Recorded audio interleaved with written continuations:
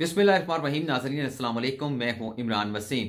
नाजन आज supreme court में justice Qazi फाइसा की सरबराही में दो रुकनी बेंच ने वज़ीर अजम इमरान खान की हुकूमत को एक और नोटिस जारी किया है। जस्टिस काजी फाइसा के बेंच की जानब से इस मरतबा यह नोटिस वफाकी हुकूमत को नहीं वज़ीर अजम इमरान खान को नहीं, बल्कि वज़ीर अजम इमरान खान की खैबर पख्तूनख्वा की सूबाई हुकूमत को जारी किया गया। सुप्रीम कोर्ट ने के पी हुकूमत को यह नोटिस क्यों जारी किया, किस मुकदमे में जारी किया इसकी तफसीत आगे चल के आप नाजिन के साथ शेयर करेंगे। लेकिन इससे पहले हम बात करेंगे अपोजिशन के पास वज़ीर अजम इमरान खान की हुकूमत को गिराने के कितने ऑप्शन हैं। अपोजिशन और स्टैब्लिशमेंट के दरमियान, कंट्रोल टावर और अपोजिशन के दरमियान रबतों के हवाले से जो बात की जाती है, ये माजरा क्या है? इन रबतों की हकीकत क्या है? इस हवाले से मुस्लिम नवाज़ के एक बड़े सीनियर रहनुमा की जानब से अहम स्टेटमेंट दिया गया है। उसकी तफसीत आप नाजिन के साथ शेयर करेंगे। और नाजिन, आज के रोज़ ही इस्लामाबाद हाई कोर्ट के चीफ जस्टिस अतर मिनल्ला की जानब से वज़ीर अजम इमरान खान की हुकूमत के फैसलों की तोसीक भी की गई है। हुकूमत के वो कौन से फैसले हैं जिसकी तोसीक इस्लामाबाद हाई कोर्ट के चीफ जस्टिस की जानब से की गई है? हुकूमत की हाँ में हाँ मिलाई गई है। इसकी तफसलत भी आप नाजरन के साथ शेयर करेंगे। तो सबसे पहले बात कर लेते हैं कि अपोजिशन के पास वज़ीर अजम इमरान खान की हुकूमत को गिराने के लिए वज़ीर अजम इमरान खान की हुकूमत को घर भेजने के लिए कितने ऑप्शन हैं? और मुस्लिम नवाज़ के वो कौन से सीनियर रहनुमा हैं, जिनकी जानब से ये अहम स्टेटमेंट दिया गया है? नाजिम मुस्लिम नवाज़ के वो सीनियर अहम तरीन जो रहनुमा है, उनका नाम है मियाँ जावेद लतीफ़, जो मुस्लिम नवाज़ में बड़े मोतबर भी समझे जाते हैं, अपनी पार्टी में बड़े वेल कनेक्टेड भी हैं। कल वो जी न्यूज़ के प्रोग्राम कैपिटल टॉक में मौजूद थे। इस प्रोग्राम में उनसे सहाफ़ी एंकर हामिद मीर की जानब से सवाल पूछा गया। कि अपोजिशन की जमातें 2018 के इलेक्शन पर भी धांधली के इल्ज़ाम लगाती रही हैं, अभी भी इल्ज़ाम लगाए जा रहे हैं। जीपी इलेक्शन पर भी धांधली के इल्ज़ाम लगाए जा रहे हैं। लेकिन अगर मौजूदा वज़ीर अजम इमरान खान इलेक्शन के प्रोसेस को ट्रांसपेरेंट बनाने के लिए, आइंदा साफ़ शफाफ इंतबात को यकीनी बनाने के लिए लेजिस्लेशन करना चाहते हैं, इलेक्शन रिफॉर्म लाना चाहते हैं तो क्या मौजूदा जो अपोजिशन है, हुकूमत के साथ किसी किस्म का कोई ताउन करेगी? इस सवाल के बाद सबसे पहले तो मियाँ जावेद लतीफ़ की जानब से इस बात का एतराफ़ किया गया कि इलेक्शन को ट्रांसपेरेंट बनाने के लिए, साफ़ शफाफ बनाने के लिए जो इलेक्शन रिफॉर्म है, वो तो नागजीर हो चुकी हैं और ये लाजमी होनी चाहिए, ज़रूरी होनी चाहिए। आगे चल के मियाँ जावेद लतीफ़ ने यह जवाब दिया कि अगर मौजूदा हुकूमत जो है इलेक्शन के मैकेनिज्म को तब्दील करने के लिए इलेक्शन के प्रोसेस को ट्रांसपेरेंट बनाने के लिए किसी किस्म की कोई इलेक्शन रिफॉर्म लेकर आती है तो मौजूदा अपोजिशन की जानब से हुकूमत के साथ किसी किस्म का ताउन नहीं किया जाएगा। बल्कि मौजूदा अपोजिशन तो मियाँ जावेद लतीफ़ ने कहा कि हुकूमत को घर भेजना चाहती है। इस जवाब के बाद हामिद मीर ने उनसे सवाल पूछा कि अच्छा अपोजिशन अगर हुकूमत को घर भेजना चाहती है तो अपोजिशन के पास ऐसे कौन से ऑप्शन हैं जिन्हें इस्तेमाल करके अपोजिशन हुकूमत को घर भेज सकती है? इस सवाल के बाद मियाँ जावेद लतीफ़ ने यह जवाब दिया कि हुकूमत को घर भेजने के अपोजिशन के पास दो ऑप्शन हैं। पहला ऑप्शन उन्होंने ये बताया कि वजी अजम इमरान खान के खिलाफ कौमी असम्बली में तहरीक अदम अतमाद लाई जा सकती है। आगे चल के वो ये कहते हैं कि चूँकि अंपायर इस वक्त भी वज़ीर अजम इमरान खान के साथ है वज़ीर अजम इमरान खान की हुकूमत के साथ है तो लिहाजा तहरीक अदम अतमाद तो वजी अजम इमरान खान के खिलाफ इसलिए कामयाब नहीं हो सकती कि अभी भी इमरान खान को अंपायर का साथ हासिल है। यहाँ पर मियाँ जावेद लतीफ़ का ये कहना कि तहरीक अतमाद कामयाब नहीं हो सकती चूँकि अंपायर अंपायर जो है वजी अजम इमरान खान के साथ है। इस बात को वाजे करता है कि ये जो बातें की जाती हैं कि इस्टेब्लिशमेंट की जानब से हुकूमत को गिराने के लिए अपोजिशन के साथ रबते किए जा रहे हैं। कंट्रोल टावर इमरान खान को इकतदार से बाहर करने के लिए अपोजिशन के साथ रबते कर रहा है। तो ये जितनी भी खबरें हैं, इस बात मियाँ जवेद लतीफ़ के इस बयान के बाद वाजे हो जाता है कि इस्टेबलिशमेंट की जानब से किसी किस्म का रबता इमरान खान की हुकूमत के खिलाफ या इमरान खान की हुकूमत को ख़त्म करने के लिए अपोजिशन के साथ नहीं किया जा रहा। क्योंकि अगर ऐसा रबता किया जाता इमरान खान को हुकूमत से निकालने के लिए तो मियाँ जावेद लतीफ़ इस प्रोग्राम में बैठकर इस किस्म की बात ना करते। दूसरा जिन्होंने ऑप्शन बताया, दूसरा ऑप्शन मियाँ जावेद लतीफ़ ये बताते हैं कि हम जल्द से जुलूसों से एहतजाज के ज़रिए हुकूमत को घर भेजेंगे और यही हमारे पास रबता ऑप्शन है जिसके ज़रिए हम हुकूमत को घर भेज सकते हैं। जब उन्होंने कहा, मियाँ जावेद लतीफ़ ने तो बल्कि उन्होंने ये भी कहा कि हम आवाम के सलाब के ज़रिए जो है हुकूमत को घर भेजेंगे। जिसके बाद हामिद मीर ने उनसे ये कहा कि आवाम का सलाब तो अपनी जगह यहाँ पर कोरोना का सलाब भी आ चुका है, जो लोगों की जिंदगियों को निकल रहा है। तो आपको यह भी देखने की ज़रूरत है कि एक तरफ़ आवाम का सलाब है, दूसरी तरफ़ कोरोना का सलाब है। तो आपको ये तमाम चीज़ें मद्देनजर रखनी होगी। यहाँ पर मियाँ जावेद लतीफ ने कोरोना के सवाल के ऊपर कोई जवाब नहीं दिया। फिर वही बात की कि हम अवाम के सलाब से हुकूमत को घर चलता करेंगे। लेकिन प्रोग्राम का जो अख्ताम किया गया हामिद मीर की जानब से, उन्होंने यही कहा कि कोरोना का जो वायरस है, कोरोना की वबा है, वो दोबारा से ज़ोर पकड़ रही है, दोबारा से फैल रही है। तो हमें और तमाम सियासी जमातों को यहाँ पर मोहतात होने की ज़रूरत है, एहतियात करने की ज़रूरत है, ताकि अवाम का कोई नुकसान ना हो। जो अब चूँकि कोरोना का ज़िक्र आया है तो कल मैंने मुजीबर रहमान शामी साहब को भी देखा, उनके साथ अजमल जामी साहब भी मौजूद थे। तो उन्होंने भी अपने प्रोग्राम में इस बात का ज़िक्र किया कि चलें, अपोजिशन की सियासत अपनी जगह, अपोजिशन की हुकूमत के साथ मुखालफत अपनी जगह, लेकिन मौजूदा हालात में हमें एहतियात का दामन हाथ से नहीं छोड़ना चाहिए, सियासत अपनी जगह पर रहेगी। लेकिन कोरोना की जो वबा है, ये बहुत सारी इंसानी ज़िंदगी को निकल सकती है। अवाम की ज़िंदगी के लिए खतरा है। तो अपोजिशन को अपील की गई मजीब रहमान शामी की जानब से, कि इन हालात में जब कोरोना फैल रहा है अपोजिशन को अपने जलसे जुलूस खत्म कर देने चाहिए। जिस तरह से वजी अजम इमरान खान ने अपने जलसे खत्म करने का ऐलान किया है।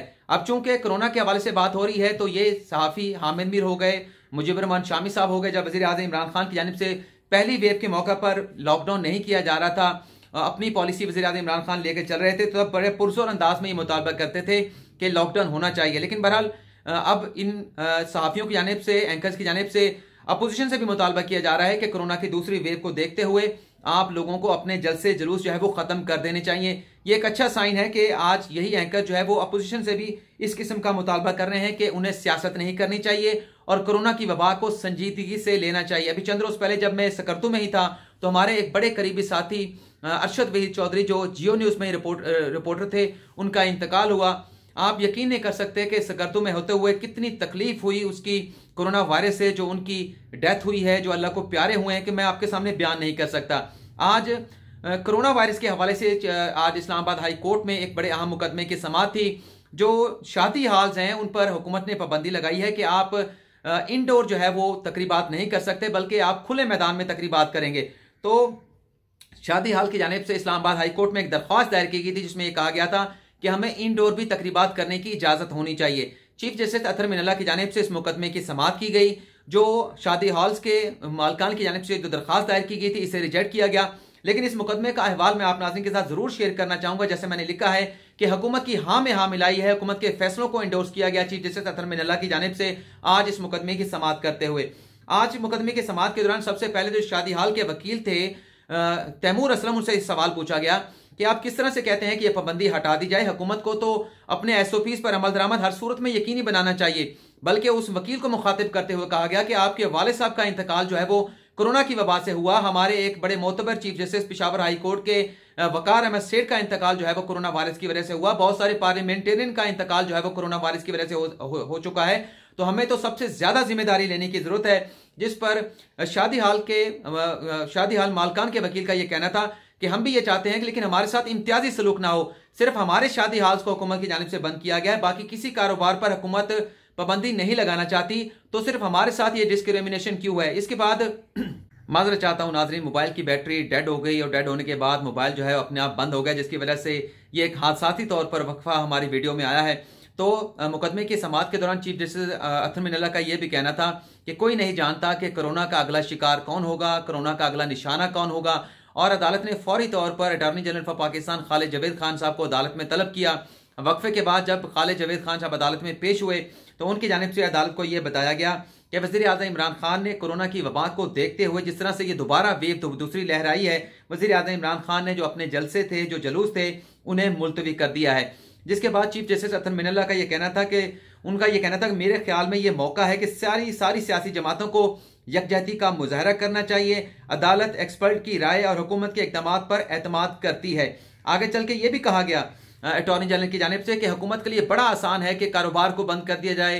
शट डाउन कर दिया जाए तमाम बिज़नेस को, लेकिन हुकूमत जो है, कारोबार को इसलिए चलता रखना चाहती है ताकि मुल्क की जो मीशत का पहिया है, वो चलता रहे और जो पाबंदी लगाई गई है, ये शादी हाल के ऊपर, ये भी मुकम्मल पाबंदी नहीं है पार्शली पाबंदी है कि आप इंडोर एक्टिविटीज़ नहीं कर सकते, लेकिन आप खुले मैदान में एक्टिविटीज़ कर सकते हैं, लेकिन वो भी 300 मेहमानों की हद जो है, वो हुकूमत की जानब से लगाई गई है।